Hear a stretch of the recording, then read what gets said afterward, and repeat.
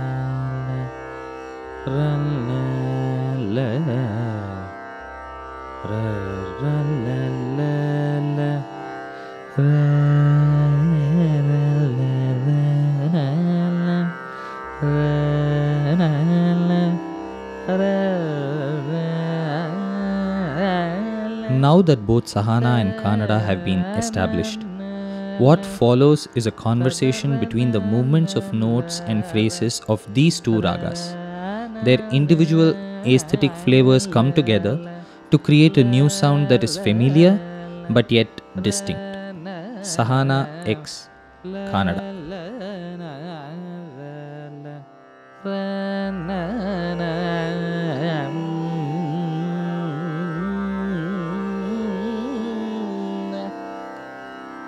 Ralnana Rala Ram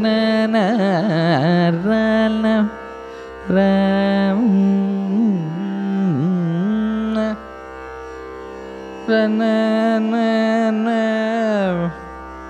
Dadarana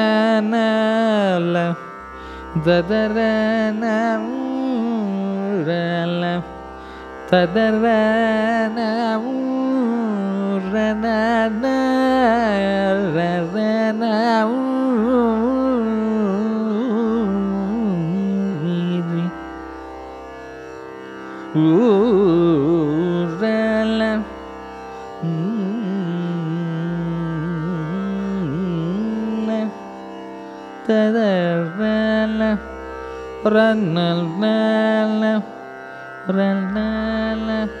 la Tadara Nal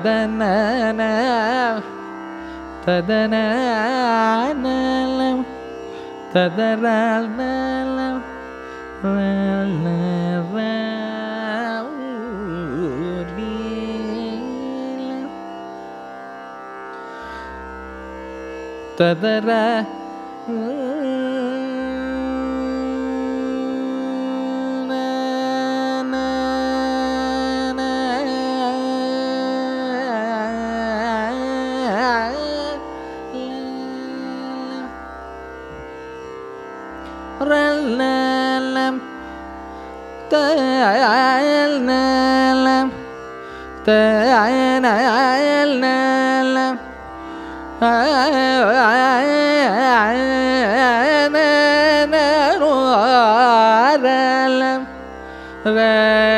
आम् रे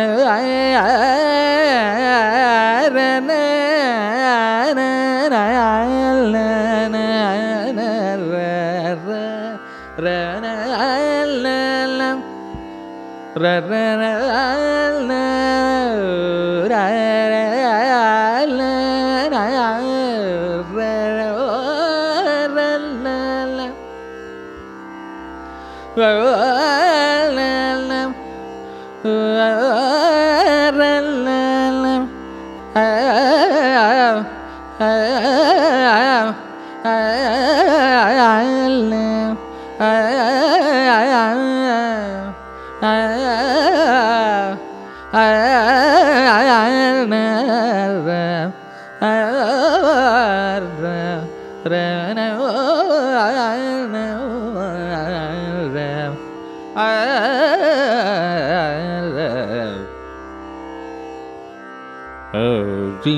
Ternal, nal, Ternal, nal, nal, Real, nal, Ternal, nal, nal,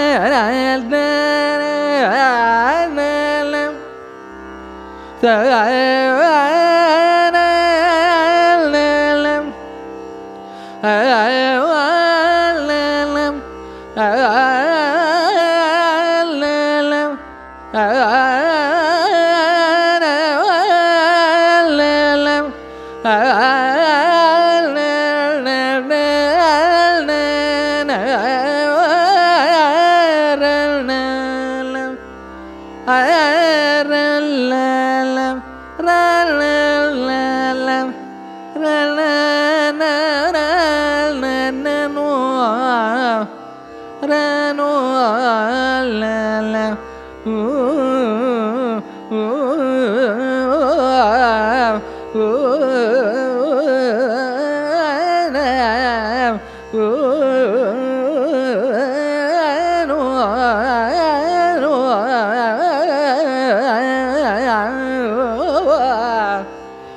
തദർണ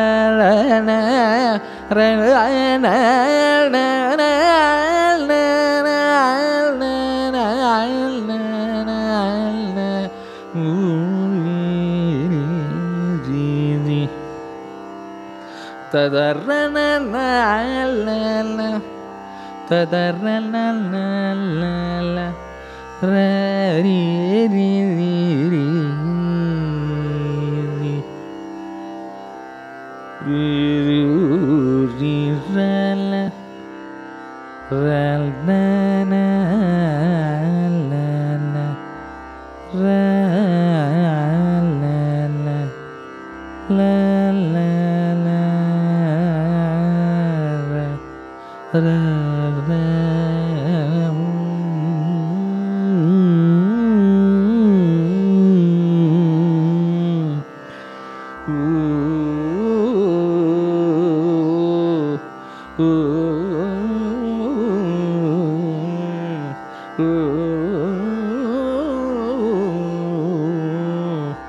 lean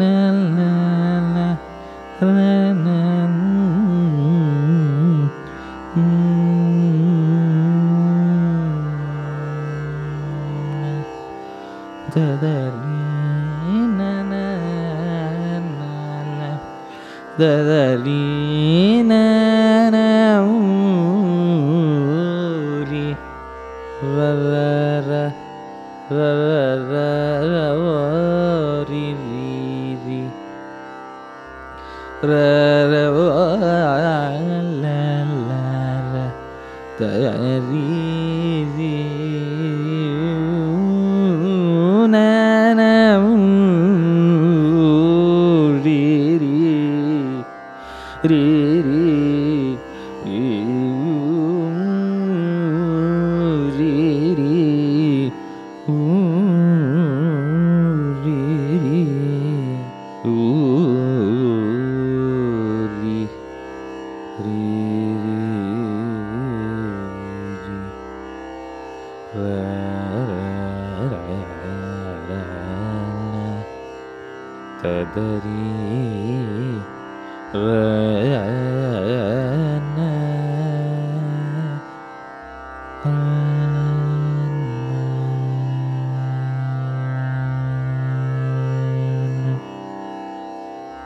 What you just heard is a raga alapana. It was Sahana, it was Kanada, but it was also both and it was neither. The idea from this comes from many different things. I will just explain the thought process behind this. Um, if you look at the olden day Sahana and the history of it, you will see that the usage of Sadharana Gandhara was very prevalent. This is one aspect of it. The second aspect of it is the intrigue of ragas with two variations of the same note. Like Hamir Kalyani, for example, that has two madhyamas, or ragas that have two nishadas. So that is more common than ragas that have two gandharas or two rishabhas or two dhaivatas, which are more rare. Apart from this, when you look at the idea of creating ragas, for me, a raga is an exploration, an expression of music, of art. Yes, there is grammar in each raga, there are rules that you have to follow, etc. But there are some ragas that are beyond just grammar. There are some ragas that don't necessarily follow a certain structure. For example, if you look at ragas that have been combined together, like say Mohana Kalyani, for example, um, it's very synthetic in nature. It's extremely beautiful. I'm not um, debating the beauty of something, but I'm just talking about the process of how it is created. If you look at Mohana Kalyani, for example, it's Sarigapa Dasa, Mohanam on the ascent, Sanidapa Magarisa, Kalyani on the descent. So we can say that it is created in a manner that has the swara in mind. Now, what if we were to create ragas with phrases in mind? For example, if suppose say like a sahana or a begada or a surati, where you know it is a collection of phrases. What if we were to just use the sound of certain phrases where the sound of those phrases don't necessarily go together yet in how we understand music today, but still sound together as a package? Can we create a raga like that organically with phrases rather than using notes? While I was looking into this, um, there were multiple examples of uh, ragas like this. For example, especially in the Hindustani tradition, if you see, they use many ragas which are called a combination of two ragas. Um, sometimes you will find one raga in the Sa to Pa region and the other raga in the Pa to Sa region. Sometimes you will find the entry of the other raga only in certain specific places. Sometimes you will find the suggestion of the other raga very minutely but not too obvious but still changes the entire color of let's say the main raga. Like for example let's say the addition of that beautiful uh, pratimadhyama and paras in smarasundaranguni it doesn't sound alien at all. It sounds very much part of that idea of paras. So there are possibilities within the organic scales the organic ragas the organic notes the organic phrases that we already have today. So was it possible to have two ideas of two separate melodies but bring them together as one picture. That was basically the thought process behind this. So is it possible for me to disconnect from both sahana and kanada but bring together their sound in a manner that creates a new sound? You can call it a new raga you can just call it an amalgamation of two ragas. It doesn't need to have a name. You can just call it sahana kannada or you don't have to call it anything but it was just a very interesting process for me to rediscover the nuances and the movement of the notes between these two ragas when there is another reference of a sound that drives that particular note. So the way we say the syllable the kind of um, syllables we use whether it's ta or re or the emphasis or the amount of modulation all of it changes when the reference point of the note that is coming afterwards or the phrase that is following it is not something that we are used to but something that is from an other sound that we are bringing into this sphere. So there's a lot of interplay that happens between the two. There's a lot of sharing. There's a lot of give and take that gives rise to an entirely new um, space. And this is just my exploration and my attempt at presenting this space to you.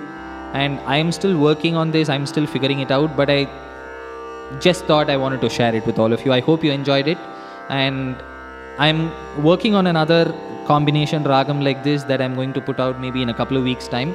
So if you have any guesses on what it is i'd be lovely to hear what two ragas you think might go well together. Thank you